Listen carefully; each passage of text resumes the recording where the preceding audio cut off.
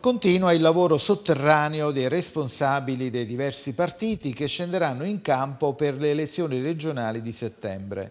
Nel Partito Democratico e nelle liste collegate si sta affrontando il problema delle quote rose. Intanto la candidatura di Michele Buonomo, storica figura di Legambiente, conferma come il PD apre all'ambiente, individuando proposte innovative, inclusive e sostenibili. Per le candidature locali, via libera, come già si sa da tempo, a Vincenzo Petrosino, ex vice sindaco di Nocera Inferiore, un altro nocerino già in campo e Salvatore Arena con Campania Libera.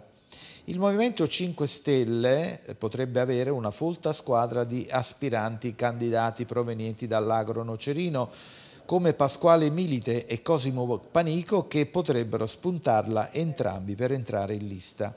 Il centrodestra si sta organizzando per dare al candidato presidente Stefano Caldoro un valido supporto per scardinare le aspettative del governatore uscente Vincenzo De Luca. Pasquale D'Acunzi, dato vicino alla Lega, rilancia l'opportunità dell'agro nocerino di avere un proprio rappresentante nell'Assemblea regionale.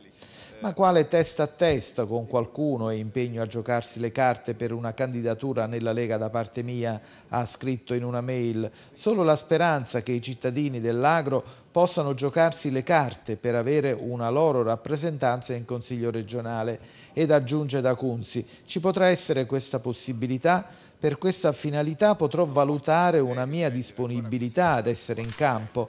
O invece l'agro sarà chiamato ad essere di nuovo un serbatoio di voti a favore di altri territori? In questa seconda ipotesi, per nessuna ragione e convenienza, sarò disponibile a scendere in campo in questa prossima tornata elettorale regionale.